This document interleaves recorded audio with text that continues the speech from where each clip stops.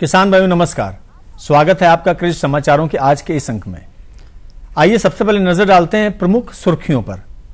केंद्र सरकार द्वारा आगामी वित्त वर्ष के लिए दलहन की आपूर्ति सुनिश्चित करने का निर्णय, जैविक खेती से बदलेंगे किसानों के हालात। केंद्र सरकार की देश के हर किसान के खेत तक पानी पहुँचाने की योजना। प्रदेश सरकार की चीनी पर प्रवेश कर छूट की अधिसूचना जारी। अगले वर्ष मार्च तक देश के सभी गाँवों तक बिजली पहुँचाने के प्रयास तेज। शीघ्र तैयार होने वाले गन्ने की बुआई के लिए किसानों को किया जाएगा प्रोत्साहित।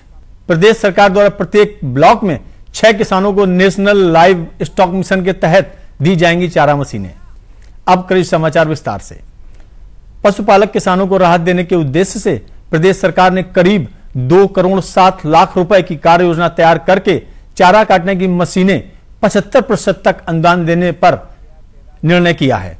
पशुपालन विकास मंत्री ने इस बात की जानकारी देते हुए कहा कि पशुपालन के प्रति किसानों का रुझान बढ़ाने के मकसद से यह चारा मशीनें उपलब्ध कराई जा रही हैं। पहले चरण में प्रत्येक ब्लॉक में छह किसानों को ही इस योजना में शामिल किया जाएगा। यह योजना प्रदेश के सभी 821 विकास खंडों में संचालित की जाएगी। प्रत्येक लाभार्थी को तीन हज़ार सात सौ पचास रुपए अथवा मशीन की कीमत का पचहत्तर प्रतिशत तक अनुदान दिया जाएगा। मौजूदा हस्त चालित चारा मशीन की कीमत पाँच हज़ार रुपए निर्धारित की गई है। अनुदान के बाद शेष धनराशि लाभार्थी द्वारा वहन की जाएगी। गन्ने की गुणवत्ता में बढ़ोतरी करके उत्पादकता व चीनी परता बढ़ाने के लिए शीघ्र तैयार होने वाली प्रजाति के गन्ने की बुआई करने को किसानों को प्रोत्साहित दिया जाएगा। प्रदेश के गन्ना आयुक्त ने बीज प्रजाति बदलने के लिए अभियान में तेज़ी लाने के निर्देश जारी किए हैं। उन्होंने बताया कि शीघ्र पकने वाली प्रजातियों के गन्ने से किसानों को अधिक लाभ प्राप्त होने के अलावा चीनी मिलें बेहतर स्थिति में आ सकेंगी। अगले वर्ष मार्च तक देश के सभी अठारह गाँवों में बिजली पहुँचाने का लक्ष्य पूरा कर लिया जाएगा। इस कार्य के लिए तय की गई समय सीमा मई 2018 से काफ़ी पहले यह काम पूरा कर लिया जाएगा। केंद्रीय ऊर्जा मंत्री के अनुसार इस दिशा में एक तिहाई से अधिक काम पूरा हो चुका है। उन्होंने बताया कि पिछले 11 माह में छह हज़ार उनतीस गाँवों में बिजली पहुंचाई गई है और शेष बचे हुए गाँवों में बिजली पहुँचाने का लक्ष्य 31 मार्च 2017 तक पूरा कर लिया जाएगा। प्रदेश सरकार ने चीनी पर प्रवेश कर छूट की अधिसूचना जारी कर दी है। प्रमुख सचिव संस्थागत वित्त कर व निबंधन के अनुसार पेराई सत्र 2015-16 में उत्पादित चीनी को प्रवेश कर से मुक्त कर दिया गया है। इस छूट को पाने के लिए मिल प्रबंधकों को निर्धारित प्रारूप पर एक घोषणा पत्र देना होगा। दो रुपए प्रति क्विंटल की दर से लगने वाले प्रवेश कर की छूट से चीनी बेचने की राह आसान होगी। और गन्ना बकाया मूल भुगतान करने में मिलों को मदद मिलेगी। प्रत्येक खेत तक पानी पहुँचाने की सरकार की नीति को आगे बढ़ाते हुए केंद्रीय वित्त मंत्री ने प्रधानमंत्री सिंचाई योजना को मिशन मोड में चलाने की घोषणा की है। खेती का सिंचित रकबा बढ़ाने के लिए कई उपाय किए गए हैं। लंबित पड़ी सिंचाई परियोजनाओं को चालू करने के लिए उन पर तेज़ी से कार्य किया जाएगा, जिससे 80 लाख हेक्टेयर रकबे पर सिंचाई करने में मदद मिलेगी। अब किसान जैविक खेती करके अपने आप को और बेहतर बना सकेंगे। जैविक खेती से लागत तो कम होगी ही, साथ ही किसानों की फ़सलों के उत्पादन में वृद्धि भी होगी। जैविक खेती को प्रोत्साहित करने के लिए आम बजट में दो नई योजनाओं को घोषणा की गई है। इसमें पहली योजना परंपरागत खेती को बढ़ावा देने वाली तथा दूसरी मूल्य श्रृंखला आधारित जैविक खेती को बढ़ावा देने वाली है।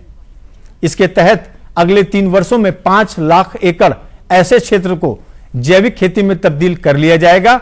जहाँ मौजूदा समय में परंपरागत तरीके से खेती की जाती है। चूँकि जैविक कृषि उत्पादों के घरेलू बाज़ार के मुकाबले अंतर्राष्ट्रीय बाज़ार में मांग ज़्यादा है, इसलिए जैविक खेती को प्रोत्साहित किया जा रहा है। मौजूदा समय में ऐसी खेती पूर्वोत्तर क्षेत्रों में की जा रही है।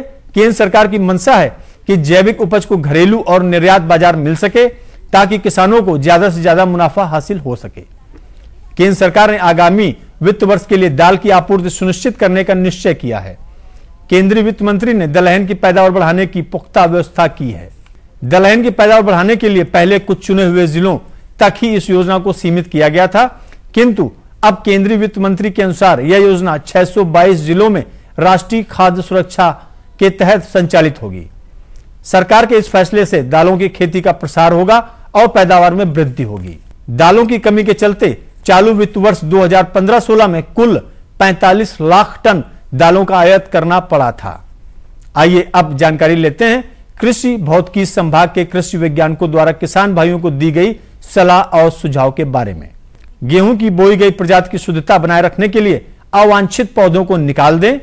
गेरुई रोग के लक्षण दिखाई दे तो इसके नियंत्रण हेतु प्रोपीकोनाजोल 25 प्रतिशत ईसी की 500 मिलीलीटर प्रति हेक्टेयर, लगभग साढ़े सात सौ लीटर पानी में घोल बनाकर छिड़काव करें।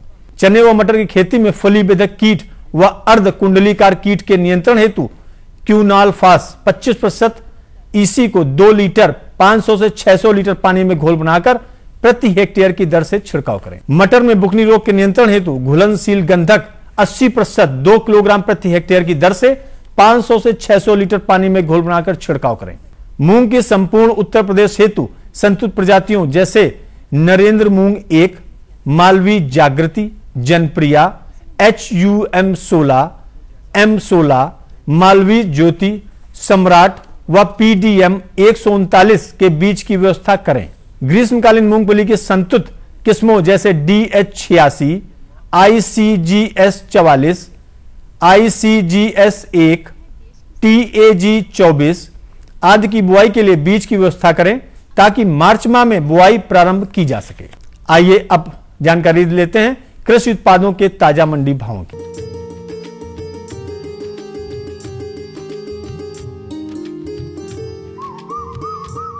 गेहूँ का भाव प्रति क्विंटल इस प्रकार रहा। बहराइच में एक हज़ार छह सौ रुपए प्रति क्विंटल, इटावा में एक हज़ार छह सौ चालीस रुपए, जौनपुर में एक हज़ार छह सौ पचास रुपए, फतेहपुर में एक हज़ार छह सौ नब्बे रुपए प्रति क्विंटल रहा।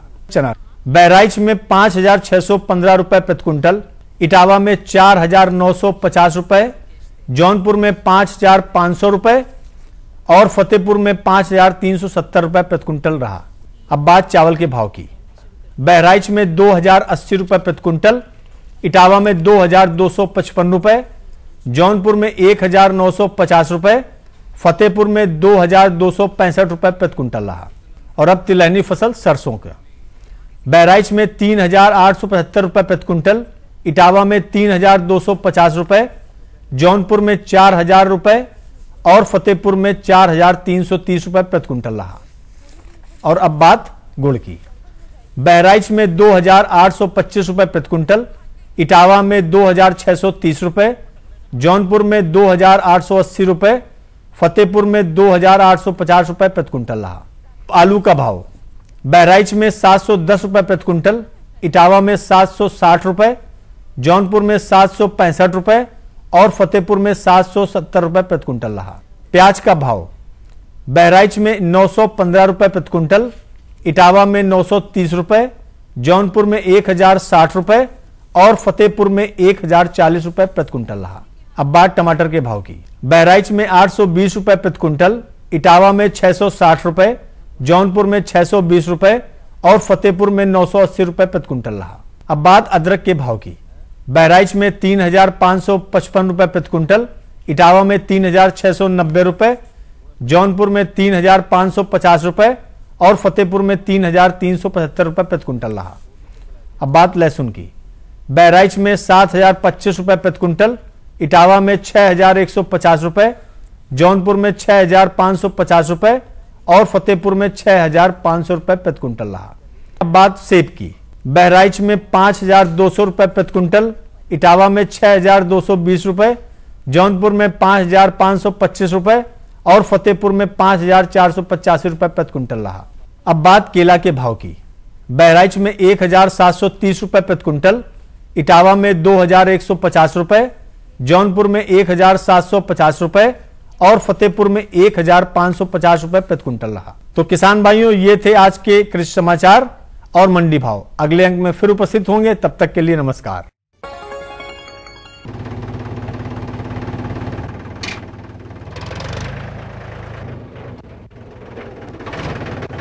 अरे हरकू वाह बीज कीटनाशक और आज खाद भी।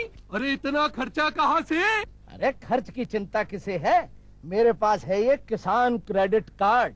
कारण अरे बैंकों द्वारा जारी इस कार्ड से किसान उसकी सीमा तक की रकम कभी भी बैंक से निकलवा सकता है और खेती बाड़ी की सामग्री कभी भी खरीद सकता है। तो हरकू भैया एक कारण मेरे लिए भी। किसान क्रेडिट कार्ड के लिए नजदीकी बैंक से संपर्क करें और पाए ढेर सारे लाभ। खुशबू की फुहार में स्वाद की बहार में। तरक्की की तानों में खिलती मुस्कानों में। हरे भरे पौधों में बड़े बड़े सौदों में। मधुर भिंभिनाहट में खुशियों की आहट में। एनएचएम बागवानी मिशन। हमारी चाहत आपकी मुस्कुराहट।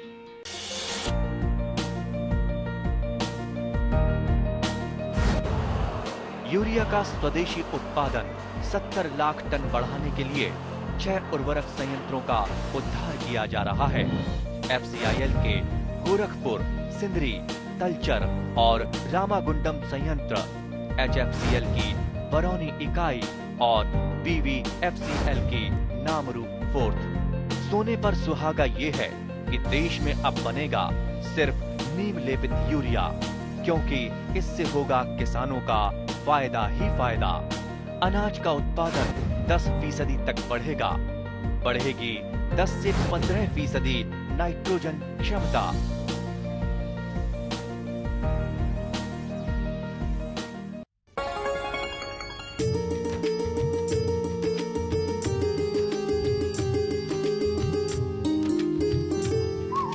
हमारे सभी दर्शक किसान भाइयों को नमस्कार। स्वागत है आपका आपके अपने कार्यक्रम कृषि दर्शन में। किसान भाइयों, आप खेती तो करते ही हैं, इसके साथ में हमारे बहुत सारे किसान भाई पशुपालन को भी अपनाते हैं। और पशुपालन का अपना विशेष महत्व है खेती बाड़ी में। इसीलिए हमारे घाघ ने भी कहा है कि बिन बैलन खेती करें, बिन भैयन के रार सावन माह बिरहर रहे, चौदह साह गवार। और आज हम बात करें हमारे केंद्रीय बजट 2016-17 की। उसमें भी हमारी कृषि और पशुपालन पर विशेष ध्यान दिया गया है। आज हम बात करेंगे अपने पशुपालक किसान भाइयों के बारे में कि केंद्रीय बजट 2016-17 में क्या विशेष प्रावधान है जिनका फ़ायदा ले सकते हैं हमारे पशुपालक भाई भी। और इस विषय पर जानकारी देने के लिए हमारे साथ विशेषज्ञ हैं डॉक्टर वी के सिंह जी। आप उप निदेशक हैं पशुपालन निदेशालय लखनऊ में। आपका स्वागत है डॉक्टर साहब। सभी दर्शक किसान भाइयों की तरफ़ से। डॉक्टर साहब हम बात करें पशुपालन की तो खेती बाड़ी की बात तो करेंगे ही। उसका विशेष अंग है पशुपालन। क्या व्यवस्था आपको दिखती है हमारे पशुपालक भाइयों के लिए केंद्रीय बजट 2016-17 में जो कृषि से जुड़ा हुआ है? देखिए बहुत अच्छी प्रश्न किया आपने। कृषि हमारा आजीविका का साधन है और हमारे जीडीपी में 25 प्रतिशत इसका योगदान रहता है। इसमें से भी 6 से लेकर 8 प्रतिशत हमारा पशुपालन सेक्टर का योगदान है। जी। इसको देखते हुए और इसकी ग्रोथ करीब हमारी 6 से 8 प्रतिशत पशुपालन में चल रही है तो इस वर्ष जो हमारा बजट आया है उसमें पैंतीस हज़ार नौ सौ चौरासी करोड़ रुपए। का बजट रखा गया है इस वर्ष का जो गत वर्ष के सापेक्ष 127 प्रतिशत ज़्यादा है। और ये ज़्यादा क्यों किया गया? क्योंकि इस बार ये लक्ष्य रखा गया है कि आगामी पाँच वर्षों में किसान की आय को दुगना करना है। जी बिल्कुल। और इसी के तहत जैसा आप कहते हैं पशुपालन एक महत्वपूर्ण अंग है। और पशुपालन के सेक्टर में भी इसके लिए 1600 करोड़ रुपए का प्रावधान किया गया है जो गत वर्ष से 109 करोड़ रुपए ज़्यादा है। जी बिल्कुल। डॉक्टर साहब हम बात करेंगे पशुपालन की। क्या विशेष प्रावधान है इसमें जिसका फ़ायदा हमारे किसान भाइयों को मिल सकता है? देखिए पशुपालन जानते हैं आप डेयरी उद्योग एक बहुत महत्वपूर्ण उद्योग है। और जिसमें 160 मिलियन टन दूध उत्पादन होने में हमारा देश विश्व में प्रथम स्थान पर है।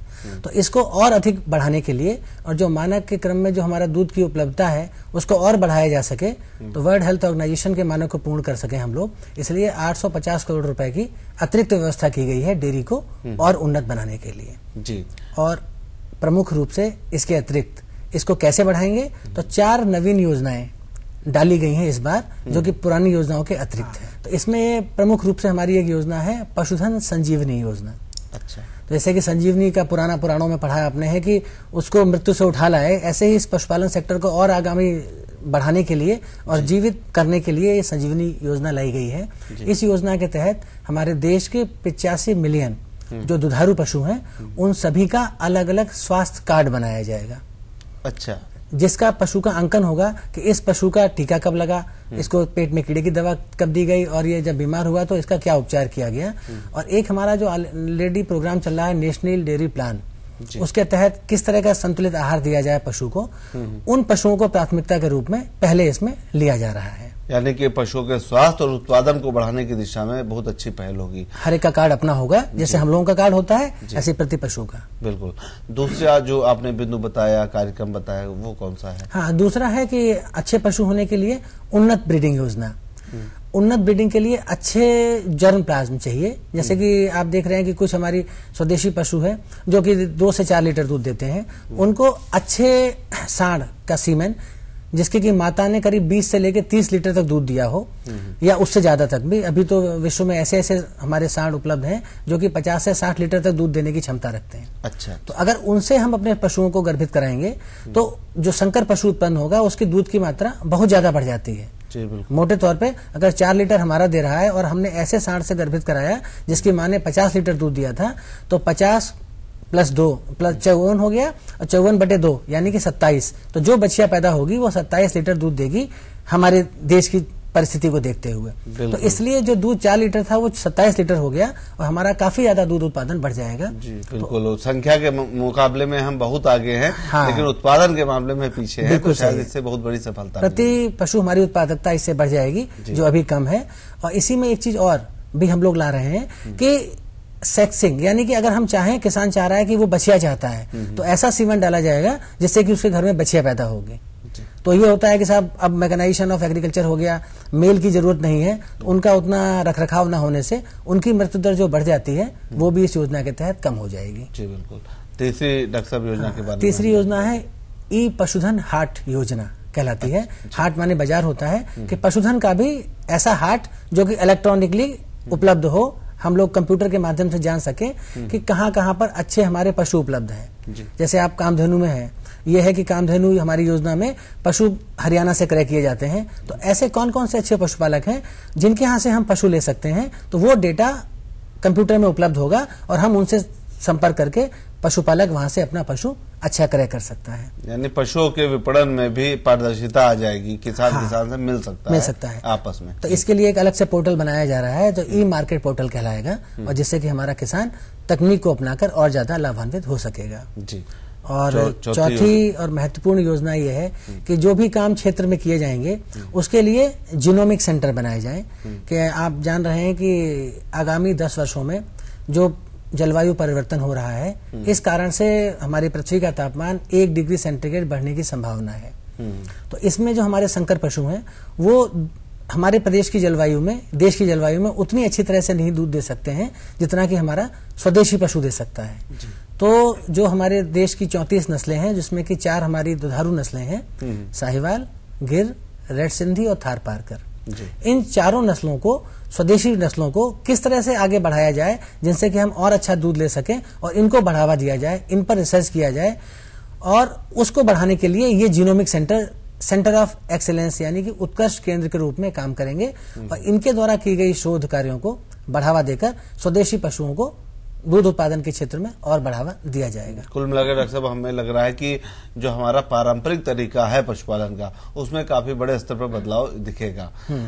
तो डॉक्टर साहब इसके साथ ही हम बात करेंगे अपने कृषि की क्योंकि कृषि और पशुपालन एक दूसरे से जुड़े हुए अंग हैं दोनों। पशुओं को चारा है पशुओं का स्वास्थ्य है हमारे कृषि से ही आता है। तो कृषि अगर हमारी संपन्न होगी मज़बूत होगी तो पशुपालन भी मज़बूत होगा। तो कृषि में क्या व्यवस्था आपको दिखती है जिससे हमारा फ़ायदा मिल सकता है? पशुपालन को इस बजट में बिल्कुल है। एक बहुत ही नवीन योजना शुरू की गई है प्रधानमंत्री सिंचाई योजना। अच्छा अच्छा। इसके तहत अभी जो हमारे देश में जो ज़मीन है उसका हम लोग 46 प्रतिशत ही सिंचाई से युक्त करके साधन संपन्न करके हम लोग खेती कर पाते हैं।